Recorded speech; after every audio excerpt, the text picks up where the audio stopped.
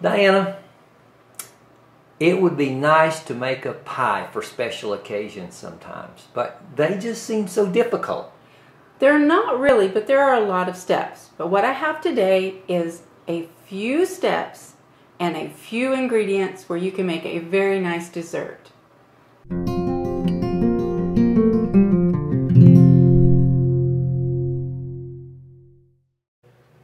So here's what we need for this easy cream cheese pie. You'll need a graham cracker crust, some whipped topping, the 8 ounce, some cream cheese, 8 ounce, a little bit of vanilla, and a little bit of sugar. We start with the cream cheese. I've let it set out this morning so that it's softened.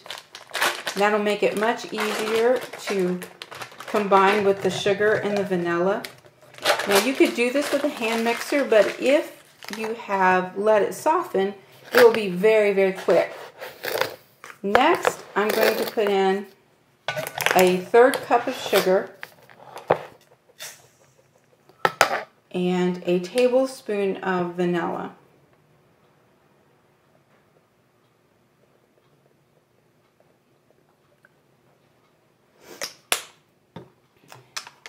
I'll mix these with a fork until this sugar and the vanilla is combined into the cream cheese. This will take a few minutes. As you can see, it's pretty smooth. At that, at that point, I will add my Cool Whip, which has been thawed in the refrigerator. And you want to use the whole container.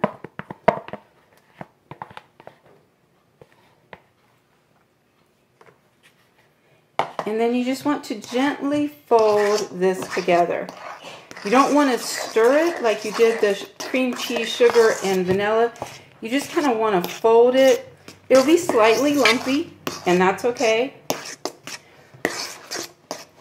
So we're just folding, making sure we don't have any big, huge glop of cream cheese mixture, but that it's kind of evenly distributed throughout the whipped cream. As you can see, it's lumpy. You're not going to be able to get those lumps out without destroying the, the whipped topping. So don't worry about that.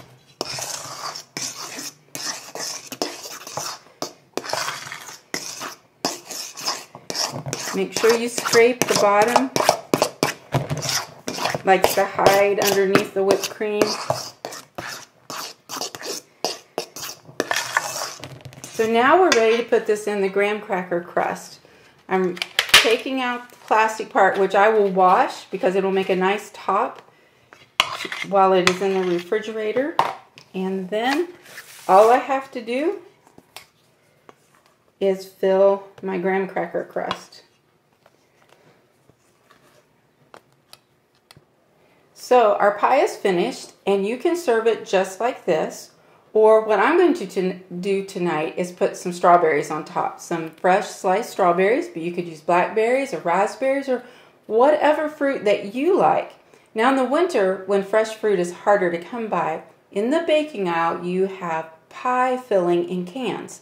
I've used that quite a few times, so you could have blueberry or blackberry or apple, whatever you like.